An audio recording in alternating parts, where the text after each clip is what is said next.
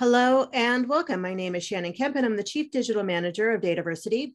We would like to thank you for joining this Dataversity webinar, Three Steps to Achieving Data Intelligence, sponsored today by OneTrust. Just a couple of points to get us started. Due to the large number of people that attend these sessions, you will be muted during the webinar. For questions, we will be collecting them via the Q&A panel, or if you'd like to tweet, we encourage you to share highlights or questions via Twitter using hashtag Dataversity. And if you'd like to chat with us or with each other, we certainly encourage you to do so. And to access and open the Q&A or the chat panel, you will find those icons in the bottom middle of your screen for those features. And just to note, the Zoom chat defaults to send to just the hosts and panelists, but you may absolutely change that to chat and network with everyone. And as always, we will send a follow-up email within two business days containing links to the slides and the recording of the session and any additional information requested throughout the webinar. Now let me introduce to you our speaker for today, Nick Brandreth. Nick serves as a data governance evangelist at OneTrust in his role, Nick advises companies throughout the data governance implementations to establish processes to support operations and align with their enterprise objectives, including gaining better knowledge and insight of their data landscape, ensuring data meets compliance and policy requirements, and enabling greater use of the data. Throughout his career, Nick has evangelized cutting edge technologies and implemented modern solutions to resolve challenges more effectively. And his pursuit of innovation has helped establish the companies he worked for as leaders of their space. And with that, I will give the floor to Nick to get today's webinar started. Hello and welcome. Hi, thanks. Uh, appreciate the time and appreciate everybody uh, jumping on today. I think maybe just start things off by saying happy holidays. Can't believe it's already December of uh, 2021. The year sure did fly by fast. Super excited about the content and the conversation uh, that uh, I'm going to share with you today. Um, just kind of real high level uh, before we dig in uh, from an agenda perspective, really we're going to touch on three areas. Um, the first that we're going to focus in on is really the data landscape. Uh, and it's just looking at data and the way organizations are leveraging data today. Uh, this is a topic that's very near and dear to my heart uh, that I've been focused on for uh, about five years or so now. Um, where uh, there are a lot of challenges that we see organizations bumping into and many of them are ones that they're not even really looking at yet. Uh, from there, we'll move into what are some of the keys that organizations need to do to bridge that gap, uh, to build out uh, data intelligence and to get themselves, I would say, even on the journey to what I would say is true data intelligence in their organization. And then finally, at the end, we'll cap off a little bit with um, how OneTrust actually can help uh, organizations solve some of these problems.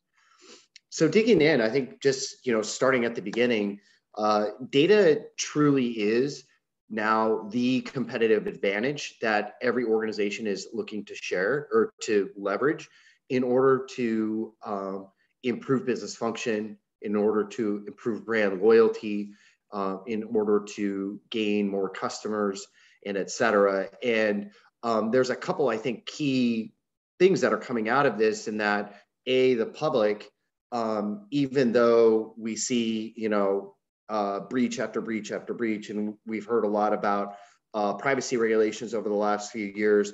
Um, the public is uh, wanting organizations to provide them with better services, and because of that, are willing to share data uh, we'll touch on this a little bit in more brief in a little bit more here in a, a minute. Um, and on the flip side of the coin, you've seen organizations. I think Apple is really a great example of this. That um, right at the beginning took privacy and said, "Hey, we're going to actually take privacy and making the message around data privacy a competitive advantage as well. Um, so there's a, a lot happening when it comes to data within an organization, and the dynamic ask that the business has for data is quite diverse uh, throughout the organization. Um, organizations and the business in general are asking to consume more and more data, and they're wanting to consume this data very simply to make uh, data driven insight decisions to help the business operate in a better way. Um, sales may be looking at uh, how do I launch a new product in a specific geographic uh, region, or how do I get more predictability around my forecasting models? Um, personalization from a marketing perspective is is is massively huge and important. And um, all of us, regardless of our demographic, have felt that change, whether you want to call it the Amazon effect or whatever it may be, have felt that change over the last uh, three or four years or so, where um, being able to um, get the products that we want uh, in front of us and deliver to our doorstep uh, within a couple days uh, by simply ordering them from a handheld device is becoming something that we're accustomed to and that we expect from the business. Uh, businesses are trying to optimize processes as much as possible from a logistics standpoint, uh, from an internal operational standpoint, and of course, that's a, there's that customer experience that comes along with that as well. So when we do business with a particular um, uh, company, and we want that uh, that kind of awesome level of customer service. Technology is really driving this and data is really helping organizations drive this. But with this dynamic ask for data comes the need for technologies and most ctos and most organizations are going through uh, um, a massive transformation right now where they're starting to leverage a lot of technologies that give them the ability to um, to deliver this very strategic these very strategic initiatives to the business and this in and of itself creates a problem. Um, and I like to call this the modern day data problem. And if you think about all the massive innovation and awesome, cool technology that's come out in the data space over the last uh, decade or so, um, an organization's ability to consume, transmit, analyze data has grown exponentially. And thus, the volume of data that an organization can leverage, needs, and collects has grown exponentially as well. Not only that, but you know, data has moved from sitting in an on-prem Oracle database or a legacy, say SMB file share uh, or SharePoint uh, sitting in on-prem data centers. Data has moved from there up into the cloud and there's a combination of this happening within most organizations. Some are cloud native, but most organizations have a little bit of this dynamic going on where I'm moving data from um, Oracle up into AWS or up into Azure. I'm moving into uh, unstructured data uh, that's out in the cloud. I'm starting to leverage unstructured data uh, sources out in the cloud. Maybe I'm having um, IoT devices stream data into things like S3 buckets. And on top of all that, we're leveraging SaaS-based type technologies. Uh, um, Salesforce has been around for a long time. Many organizations are using utilizing that or some type of SaaS-based CRM. Uh, many organizations are leveraging things like Workday, these SaaS-based HR type of systems. And then you have um, kind of the king of the hill when it comes to this modern day data problem, in that being these large data repositories or data warehouses and really kind of data lakes, if you will. You saw yesterday, um, yesterday or day before, Snow, uh, Snowflake came out with very, very positive earnings. And that's just an attest, a testament to how much technology like that is being adopted out in those environments. So not only are organizations adopting things like Snowflake, they're adopting things like Databricks or GCP, uh, BigQuery sitting in GCP, and they're moving data out to those environments in mass volume, and they're sharing data back and forth with business partners. And this starts to create a bit of a problem for organizations in that um, you know, being able to rely on understanding your data becomes extremely difficult when you have all of these dynamics associated with massive volumes of data, a wide variety of data, and this velocity of data that we see in the environment. And the whole purpose behind all this, going back to that first slide I talked about, is to give the business access to the data to make data driven insights. However, there's a lot of risks associated with it, and I'll touch on this a little bit more in depth here. But one of the big risks that we see right away is that uh, the definition of what is sensitive data now, sensitive personal information, has changed and evolved. We've moved away from those NIST PII standards where we're looking at something like a first name or a last name or a credit card number, which you know we could do lookups or Luhn checks and things like that to try and find. It's moved into data that could potentially infer behavior and whatnot. We'll touch more on this uh, in, in more depth here in a minute. But looking at that complexity and that evolving data risk that's happening, um, if you think back to 2016 in Cambridge Analytica and really kind of what happened out of that, the reality is that public sentiment has changed and has dynamically shifted where um, you know we do want to give organizations our data to use in a way that's positive and produces a meaningful impact to us. However there is an expectation from the public that the organization is treating that data with the appropriate fiduciary responsibility that they need to be treating that data with and that they're not a, either a misusing that data in some way or another or b making some type of bias-based decision about us because of the type of data that they're using and the decision making process that they're using it for. On top of that if you think back, uh, you know, a good 10 years ago or so, uh, uh, you know, hacktivism was pretty predominant. You heard it in the news a lot. Uh, you would see hacktivists, uh, you know, defacing websites. You'd see hacktivists uh, DDoSing companies, taking down their services, and that type of thing. Um, hacktivism is still very real and very alive. And if you think about how can somebody truly impact a business they're targeting from a hacktivist perspective, it's all around the data. If I can breach a company and post data uh, online, you know, in the in the public view, and there is data in that data set that is outside of what their privacy policy statement says, that company's in a lot of trouble. Um, if I poison data in a data set where um, I'm having analytics done around this data, um, I'm potentially causing a lot of problems to that that algorithm. And basically, all of that work has to get thrown out and start over. And what ends up happening with organizations when we start looking at these risks, data regulatory risks, cyber risks, other types of uh, regulatory risks, when we start looking at this uh, uh, challenge, it really starts to create a business problem.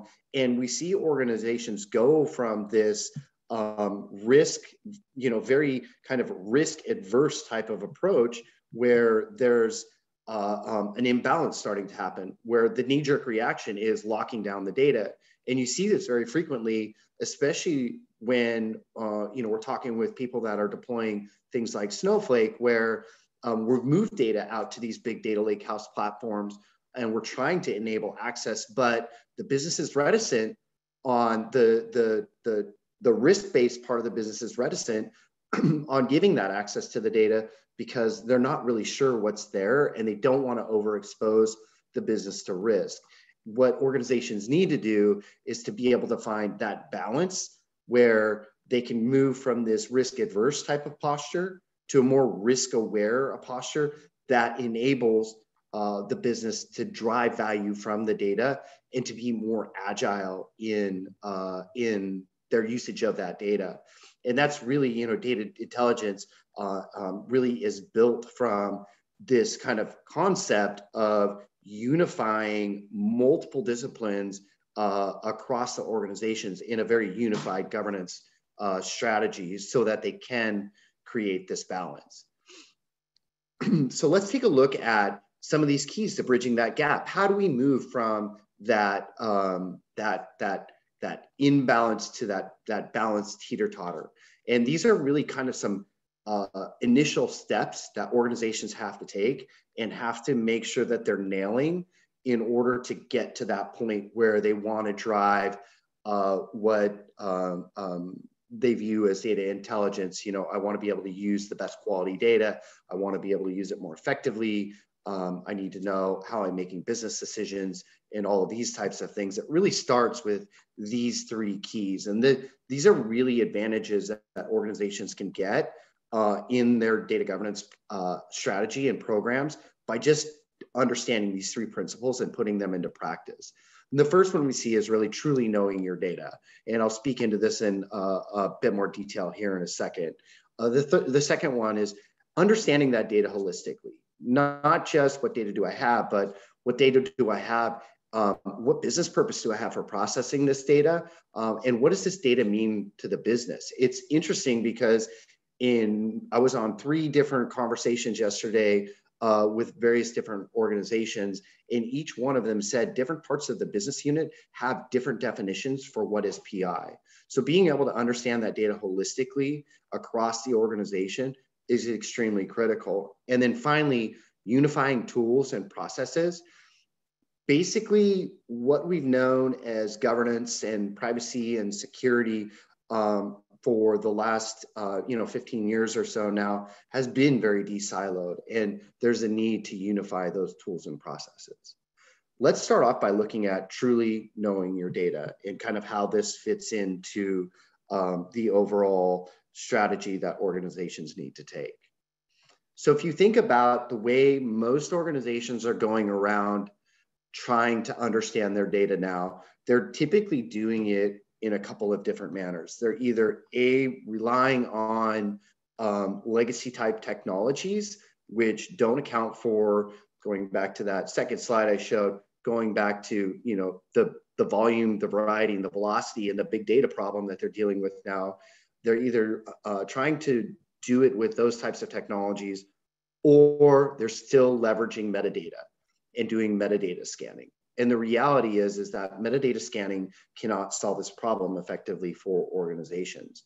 Organizations need to use technology built on these same types of big data computing concepts, leveraging things like machine learning to do uh, a deeper data discovery across structured data sources, across unstructured data sources, whether on-prem or in the cloud, to do this in, in semi-structured types of data sources as well as that's where a lot of data is starting to move towards.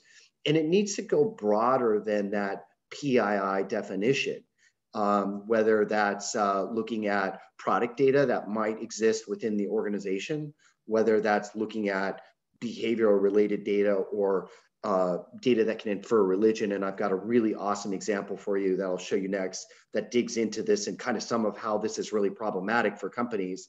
Um, and then, you know, a company data, if you think about, uh, you know, you're a company that's growing by, by M&A, typically those projects have some type of code name or something like that on it. Do I have a document that, that um, is non-public material information and could potentially expose uh, some uh, information to somebody that shouldn't have access to it in a source that's in the clear, you know, sitting on an S3 bucket, sitting in OneDrive somewhere, that type of thing.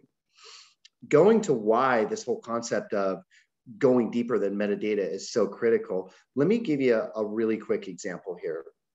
Freeform text fields in open text boxes are the bane of, of, of solving this problem, right? There, so it's a massive issue. They're, they're needed, um, but they create massive issues. The example that you see here from this is a Salesforce example uh, um, is for a customer of a wealth management uh, advisor. And if you think about like what a wealth management advisor does, um, you know they help you plan for life's events. They help you plan uh, financially for uh, goals that you're trying to accomplish in the future. They know tax information. They know who you're donating money to. These types of things. And in this particular example, you'll see that there's, you know, partner name, there's Alcoholic Anonymous, volunteer, uh, there's uh, upcoming vacations, a reminder to send a Hanukkah card, uh, uh an end of the year uh, Democratic Party donation, um, that they're going to make as well as obviously as a tax write-off. And what you have happening here is in this description field, where if I'm just relying on the metadata, I do not know this data is here. I'm a financial services institution that has uh, health related data. It's got behavioral related data. It's got data that infers sexual preference. It has got data that infers uh, um, political affiliation and religion. And if I'm moving this data around, and moving into an area where maybe I'm trying to uh, make decisions on how else I can uh, create better products uh, for uh, this particular customer or how I can um, maybe make a loaning lending decision or something about this particular customer. I'm potentially introducing, I am introducing bias into that. So it becomes extremely problematic if we're solely relying on metadata and if we're not leveraging uh, machine learning and these types of, of technologies that can help us out with these trickier, more complex pieces of data. And that kind of moves us into very nicely into the second uh, um, um, key, and that is understanding the data holistically. And if you think about data across the board, data can mean various different things to an organization based on a regulation, based on how that, what that attribute is, based on that attribute together. Um, and one of the key things that every organization needs to do is to be able to accurately classify uh, data for um, the business as a whole, but also from a regulatory and a compliance and a security standpoint. A great example that I like to use on this, one of my favorite customer types um, that I absolutely love talking to about this problem and about solving this problem are clinical research institutes. Um, because what they are doing is so beneficial to the greater community as a whole. It's truly an awesome thing. Um, and they are leveraging data, they're sharing data collectively between various different uh, uh, research parties to try and solve health problems, to try and uh, um, better the lives of people. However, personal health data is governed under many different ways. And if you think about just the difference between um, uh, uh, health related data and mental health related data, mental health related data needs to be treated a specific way. So having the ability to go in and accurately classify, tag, categorize, categorize this type of data becomes extremely critical so that an organization can go out and truly understand what data do I have? Where is it? What business purpose do I have for processing that data? Do I have data that breaks the business purpose where I don't have a business purpose for processing it? Do I have data that's potentially um, uh, breaking my privacy policy? I have a privacy policy that says I'm only collecting certain amounts of data uh, for certain consumers. Do I have data that's living outside of that outside of that bounds? And then I think finally, um, the third the third pillar here is unifying tools and processes. Um, and this is where we see a lot of organizations have, you know, not only multiple different technologies out in their environments, um, but they have multiple different stakeholders uh, that each own these various different uh, solutions and are operating um, kind of autonomously. Sometimes maybe there's cross function happening, but they're still uh, uh running very autonomous, autonomously. And the reality is, is that um, governance can't be done in a silo anymore. Uh, you know, there, there, there's the need for organizations to be able to go out and operationalize and understand privacy um, and how their organization is handling things like, um, am I doing privacy impact analysis uh, effectively? Can I automate that? Am I living in Excel spreadsheets anymore? How am I building out my records of processing activity? Um, how am I executing on a consumer rights request if I'm an organization that's getting a lot of consumer rights requests? Uh, from a security perspective, you know, we've got risk management out there, along with all of our other controls that we're leveraging, maybe to help anonymize data like a um, uh, like an encryption or a masking type technology. We're leveraging other types of technologies out there, and we put policies in place that say, you know, hey, certain types of data shouldn't be retained for a certain period of time, and uh, um, and certain types of data uh, shouldn't be in certain um, assets out in the environment where there's more access and exposure to that data. Um, and then, of course, you've got uh, um, on the, that kind of data catalog and that traditional metadata management perspective. You've got the data stewards out there that are looking for the best data in, in stewarding the data within the organization so the organization has good quality data to use and understands where that data is at and where everything resides. But if I'm trying to, even just looking at CPRA is a great example of this. If I'm trying to understand how do I go out and solve these very complex privacy regulations, like understanding how I'm processing new data, or I have a new process for data, while being able to give access to that data and being able to understand where the data is at, while being able to secure the data. If I'm doing it all separately, it creates bureaucracy. It slows down the process of giving access to the data and you know enabling that agile use of the data to the organization. Um, but it also creates a lot of gaps in that you know the organization doesn't know if they have all of their ducks in the row, so to speak. So really, what needs to be done, and if you think about it, um, privacy, security, governance, they're all part of the same continuum. And these, this, these disciplines can't really be happening in silos anymore. And a technology, the technology can't be happening in silos anymore either. It all needs to be part of the same continuum, both from a business alignment as well as from a technology alignment and an automation perspective. So giving an organization the ability to understand what data do I have, where it's at, um, what business purpose do I have for processing it, uh, um, and what risks does that data bring to the organization?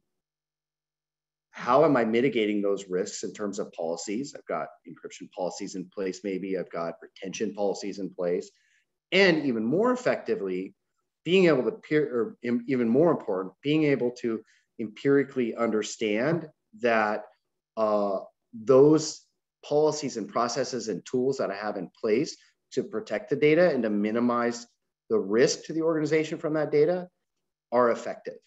And the great example on that that clearly illustrates most organizations are struggling with the capability of doing this is that uh, that use case of being able to enable access to things like Snowflake and these big data lake houses, where I pumped a bunch of data, but I'm reticent on giving access to that data because I don't really empirically understand the data, and I don't know if it's breaking some of these core data protection policies that I have in place.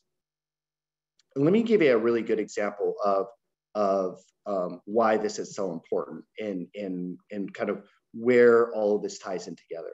So let's look for at processing data for a new business purpose. So the business wants to use customer data for a new purpose, right? That it wasn't initially collected for. This becomes a couple of different issues. It's a policy, it's a legal issue, but it's also a technology uh, issue as well.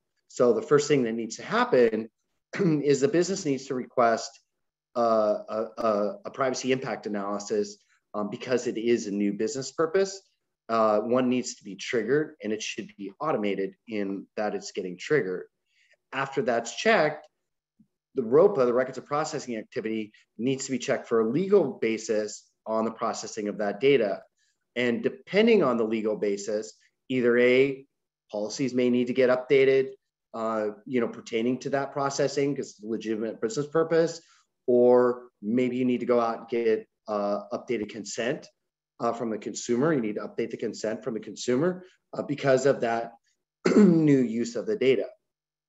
After that, once that PIA is approved and uh, all those updates have been made, then access can be given to the data. And I know that, hey, I'm not overexposing the organization to, um, to too much risk by doing this, number one. But number two, going back to that imbalance slide, one of the reasons why there's such an imbalance is not just because we're locking down the data, maybe, but it's also because we've introduced, we've had to introduce so much process into the um, into giving access to that data, into following through with these regulate regulatory requirements that we have to do, that we haven't um, and we haven't automated in any way at all. So re- automating this process under a, um, a unified tool set gives you the ability to go out and um, alleviate that drag that you're putting into that that part of the process in terms of um, in terms of giving exposure or access to the data. So just kind of wrapping up here, really important in terms of being able to establish that trust fabric. So going back to that very first slide, right? Organization or the consumer, uh, and I'm one of them, wants companies to leverage the data. I want to have better products put in front of me, uh, better services put in front of me. I want to understand how I can make my time. More, I want to be more efficient. Um, I want to spend less. Um, all of these types of things. I want my data to be leveraged in a way that is good for me but I also need to trust that that company is in fact acting with the appropriate fiduciary responsibility in terms of the way that they're using my data. It's not being misused. It's not being misshared it, where it could potentially be weaponized against me. Um, it's not being overexposed to potential cyber risk. Um, all of these types of things. In order to do that, to establish that trust fabric with that consumer, uh, to drive data intelligence, you got to start at the key one principle, and that's know your data. What data do I have and where is it? And then number two, understand the data holistically. What business purpose do I have for processing this data? Do I have business purpose? Do I have data that I don't have a business purpose to process? Um, and then finally, you know, unifying tools and processes um, out across the organization. So being able to answer those questions around uh, what risk does this data bring to the business? What new risk am I introducing to the business for by introducing new data or introducing a new business purpose for processing that data? What policies do I have in place to protect that data? retention policies, anonymization policies. I've got my privacy policy that says this is the type of data I collect on the consumer. And are those effective? you know, can I validate the effectiveness of those controls? Do I know that I don't have restricted data sitting in the clear in S3 buckets or in my big data lakehouse platform where I do want to enable more access to the data? Do I know if I have data breaking retention policies? Do I know what it means if I need to uh, um, process data for a new business purpose? And can I move from a posture of being risk adverse and uh, um, uh, a drag in the organization in terms of being able to uh, enable the use of that data to more of a posture of risk awareness and a business enabler, which is really what data intelligence should be uh, to the organization. And there we go, Zoom. And now I'm just going to wrap up really quickly uh, with how OneTrust helps uh, out from this perspective. And I thank everybody for their, their time today. So OneTrust is uh, um, the fastest growing software company in history. And uh, there's a big reason for this. And that is that uh, really what we've gone out and done is pioneered this space called trust. And it's very evident that the market um, has taken notice of it and that what we're doing is really, really resonating with uh, with the, the marketplace as a whole. We're growing extremely fast. Uh, we're very well funded. Uh, we have um, um, tens of thousands of customers around the world, uh, and we're a very innovative uh, um, organization from a technology perspective. And what we've done is built what we call a trust platform. And this trust platform enables organizations to act um, and prove they are acting in an era of trust, uh, both to internal stakeholders, which is really critical, um, you know, key executives, the board, which is always asking questions every time there's a new headline, um, as well as the employees themselves. Um, you know, employees want to know they work for uh, a good company, um, and um, with uh, CPRA and the changes to that, employees are also now in scope for for that that California Privacy Initiative um, as well as external stakeholders, right? So us, the consumers, the public, the street, um, anybody that that brand loyalty and the meaning, the meaningfulness of that brand is important to, trust becomes an essential element that they have to a act in the era of and b prove. And what this platform does is gives organizations the ability to handle things like third party risk management, environmental, social, and governance is something that's uh, becoming very, very, very much a hot, topic with organizations. How am I doing with my carbon footprint and these types of things? How do I manage consent and preferences across the organization? And of course, what really was the tip of the spear for us in this is operationalizing out privacy, as well as um, how do I build out a actual real source of truth catalog? How do I automatically build out a data dictionary, create a source of truth that I can both manage data risk to, but also enable access to the best quality data to solve a particular problem or to answer a particular question for an organization. And it's all kind of hinges on our data discovery technology as well. This is all built on a single code base, so it can interact well together, which gives us the ability to um, um, really kind of do that single siloed across an organization. And from a governance perspective, data intelligence, what we really deliver from that perspective is giving you the ability to automate out a lot of your privacy uh, program, but also be able to deliver on uh, um, a lot of the key kind of governance initiatives that you're trying to do, whether that's enabling use of the data or mitigating risk of risk to the data. And it all starts with scanning uh, and enriching data. That's the actual data itself. We'll go out and we'll scan the actual data in your environment we can tag that data and generate metadata.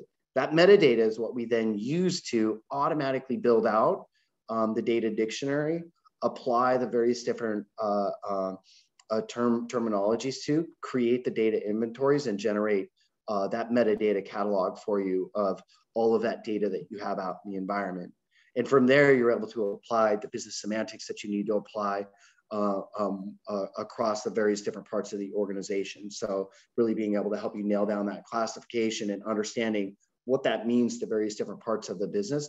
And then finally, being able to better govern that data, right? So understanding the risk from a, a regulatory perspective and not just helping you implement policy, but helping you be able to validate that those policies are effective, which is really, really, really critical. Am I able to, able to understand if I've got data sitting out in the clear that should be encrypted? Am I breaking a, uh, uh, a retention policy uh, per se as well? And what this does is it helps us create a knowledge graph uh, based upon this by leveraging a lot of these big, uh, same big data computing te technologies and concepts. We build out a knowledge graph that gives organizations the flexibility and the speed they need to go out and do that search for the data gives them the ability to do data policy enforcement. I've found data that breaks a retention policy, initiate action to remediate it, whether that's with other tools I have in the environment or doing it yourself with uh, native capabilities and existing technologies, which really helps you manage that risk to the data. Um, we give you robust re reporting and analytics around that. That gives you the ability to look at trends. That gives you the ability to go out and understand, you know, what does my data footprint look like? Do I have data drift? Do I have data out in parts of the organization that I shouldn't have data in? And then finally, uh, um, being able to, as a natural byproduct of doing that, being able to help you execute and automate out that privacy rights request, which greatly reduces the resource impact from not only a people perspective, uh, but also from a uh, um, uh, from a, um, uh, a, a, an asset, a data asset perspective as well. And with that, Shannon, that uh, wraps up my content for today. Well, Nick, thank you so much for this great presentation. And thanks to OneTrust, as always, for sponsoring another great webinar. Uh, just to uh, answer the most commonly asked questions here, just a reminder, uh, I will send a follow-up email by end of day uh, Monday for this webinar with links to the slides and the recording along with anything else requested. If you have questions for Nick, feel free to submit them in the Q&A portion of your screen. And I'm going to dive into one here that came in early. So Nick, with all of these data sources and potential threats, where do you suggest one starts identify and addressing risk? Wow, that's a good loaded question. Um, I mean, really kind of from a best practice perspective that I've seen over, you know, the course of the last five years or so and just working with organizations is um, prioritization. So, you know, we know we have to go out and and look at a lot of different sources that I have out in my environment because I definitely have these legacy SMB file shares sitting on prem um, that have legacy data in it. We know it. We just don't know it empirically. Um, you know, I've got things like S3 buckets where they basically have become the kitchen junk drawer and people have just been throwing, you know, it was supposed to be just our keys and and now it's like full of like 27 Starbucks gift cards and we don't know, you know, how much is on each one of them. It, you, they become very problematic. But really what we say is and see as being effective is prioritize those data sources. Look at your data sources where you know your uh, trying to enable a lot of access to the data quickly, like your data lake houses. What are your most critical applications where you know you have a lot of sensitive personal information? Um, you know, those structured sources, sometimes people will get a very false sense of security about it because they're, oh, we're already scanning it. but going back to my open text field, um, open text box uh, example there, it is very, very uh, um, frequent that you will find um, values in some of those columns that you're not expecting to find it in. So go to those kind of core source sources first and understand that, understand your data there, um, understand what you have, you know, where it is specifically in those sources. And then I think the important question that organizations have to ask themselves when they're solving pro this problem without getting stuck in too much of an analysis process around it is, and that's why it's important to go to those high priority sources first is what am I going to do if I find breaks in certain types of policy to the data? So we have every organization has some type of data protection policy in place. Um, you know, what are we going to do if we find breaks to that? What does that remediation workflow look like? And then once you figured that out, being able to iterate that out, it's a very agile approach to being able to um, to roll that continuously out into other parts of the organization um, becomes much more effective. Love it. So, um, can OneTrust conduct the identification of personal health records to use for analytics, ensuring that re-identification is not possible exposure? Yeah. Uh, yeah. Can, uh, uh, can you speak to what OneTrust does for that? Yeah, I love this question. Um, actually, so if you think about, it, I think the famous one because a lot of organizations have gone through some type of pseudonymization process in many cases um, with their with their data. And I think the famous one, there was like a U.S. Census and Carnegie Mellon study done years ago. The famous one example is um, age, gender, zip. If you have those three classifiers together, um, your ability to re-identify uh, someone is like 87%. Uh, um, you can like re-identify 87% or something like that of the US population using just those three identifiers.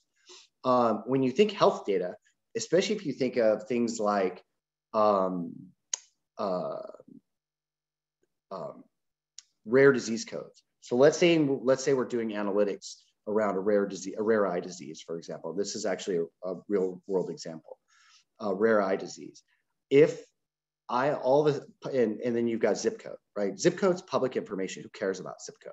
But if all of a sudden I've got zip code and rare, a rare disease code together, my ability to re-identify that person is um, is really really high. So what we can do is go out and use a lot of like contextual awareness um, to look for those types of identifiers together, classifiers we call them together. And if we find that, we flag it. And if that's sitting in something like, say, a Snowflake or a different type of technology where we can um, uh, leverage the native mechanism within that technology, we can initiate uh, masking of that that attribute that shouldn't be in there that you say shouldn't be in there. Um, so the same thing applies from uh, from like a HIPAA record perspective per se. So if you if we're if there's like certain identifiers that are in the clear um, that's making a record re-identifiable, um, you can have a policy in place that enables us. We would catch it, we could flag it and say, hey, this is XYZ related personal health record, and it should be following this, this particular type of, of um, uh, policy, uh, go out and fix it. We'd be able to catch it not only, but we'd also be able to, to give you the intelligence as to what policy it's breaking and what the remediation. And if we have the mechanism to do it, we can automate some of that remediation. I love that question. Great question. Awesome. So, Nick, does OneTrust help identify data rot to reduce regulatory compliance security concerns or issues? Um, so, by data rot, uh, I'm assuming I mean bad data, obsolete data, that type of thing, and that's that's uh, um, like right down the like the alley of one of the main use cases that we always see. It's going back to uh, and I don't know why I pick on these on-prem SMB file shares, but a lot of organizations still have these legacy on-prem file shares, or they've got um, legacy uh, SharePoint sitting on-prem, and they're migrating it up to the cloud. Why would you just migrate all that data to the cloud if you know you've got probably some problematic hotspots of data uh, within within that that source? Um, being able to look at that data and say, hey, you know, we've got data that's older than seven years, breaks the retention policy, that shouldn't even get migrated. Or maybe I already have data my, out in the cloud and I'm moving to GCP and I'm moving this data into BigQuery. Being able to understand what that data is in that initiating, initiating source before it's moved out into other sources um, becomes a, um, a very, you know, a very hot topic. So being able to, again, just going back to kind of the basic fundamental, understanding my data. So I'm discovering and identifying that data that's in those particular sources. And I understand, hey, okay, GLBA, maybe this is GLBA, GLBA related data. So I do need to keep it, even if it's a right, right to be deleted, for example, for uh, CPRA or C CCPA, uh, being able to identify that, understand that. Um, we help handle all those, those types of concerns. And then I think more than anything, it's especially having spent so many years in information security it's understanding that data that i have out in the environment and am i am i protecting the right sources in the right way to solve those types of problems we give visibility into all of those types of issues and can help automate a lot of the remediation around it as well I love it. Well, if you have any additional questions for Nick, I'll give you a minute here to submit anything. Oh, here we go. What is uh, OneTrust typical, or uh, data governance project lifecycle? Sure. This is an interesting question, bit loaded also, um, and that is that um, I mean I I just I have a I have an ITIL related background, and um, you know a typical deployment uh, gets up and running fairly quickly. You know, going back to that example that I gave to the first question, and you know you can set up a um, a um, uh, you know scans and that type of thing on your priority data sources build out that part of your program understand what i'm going to do with that data and all of those types of things typically organizations if they're very organized uh, can start knocking those things out in in six to nine to 12 weeks for that first core group right and then from there being able to and while you're doing that being able to apply policy to it being able to understand quality of the data, being able to understand a lot of these types of things and leveraging that. There's two things that happen that are really, really, really critical um, with that step. The first one is you're creating kind of a blueprint that helps you take this uh, agile type of approach to the rest of your deployment, uh, out, you know, out across other sources and whatnot, other business units, whatever it may be in the organization. Number one, but number two, and I would say this is probably even more important, is one of the keys that I, I had two people tell me this uh, years ago, um, and it's very, very true. One of the keys that I see in successful data governance pro- programs is while they are very strategic in nature, they have to get quick tactical wins in order to show quick value, get quicker buy in from the rest of the business to, to show that growth to, for the rest of the business.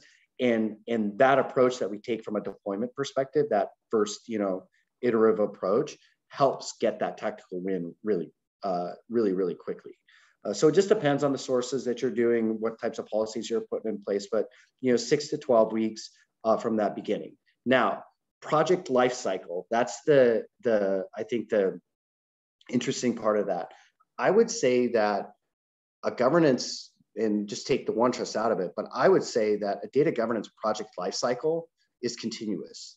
And it's continuous because organizations want to continuously improve. Um, they're continuously using data from a different perspective. Um, they're evolving their technologies. Um, they're leveraging different types of technologies, which means their policies are changing. But the, the I think the core key important factor is that once you have that foundation layer uh, with OneTrust established that's helping you operationalize and automate out privacy, that's helping you uh, from a governance perspective as well, um, that's doing all those types of things. That kind of continuous improvement becomes a lot easier and a lot faster because you've already created a baseline that you're controlling drift against. Perfect.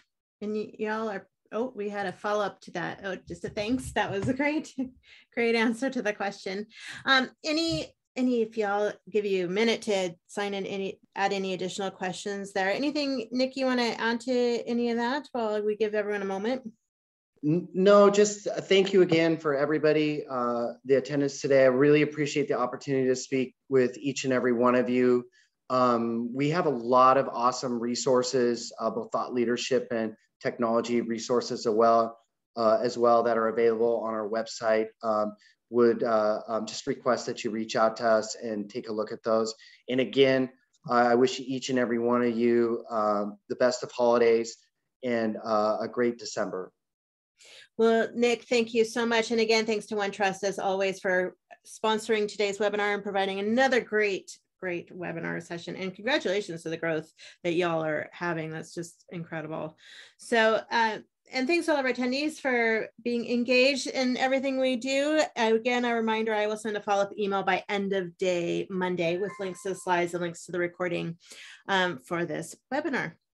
And uh, let me just uh, echo Nick's sentiments and say happy holidays and I hope y'all have a great day. Thanks, everybody.